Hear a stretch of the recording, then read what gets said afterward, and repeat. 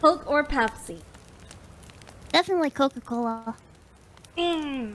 Mm. Uh, Specifically, uh, lemon Coke.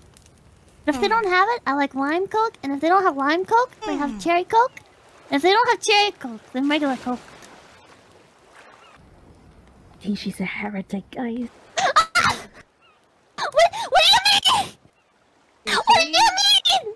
Please, I have severe, superior, advanced taste. Okay, listen, I I can't help it if if if you don't understand. All right, listen, listen. Aren't Dullahans dead? Do you even have a sense of taste? Gonna, I'm gonna open up Twitter right now. Hashtag ah. Don't you dare! Don't you dare!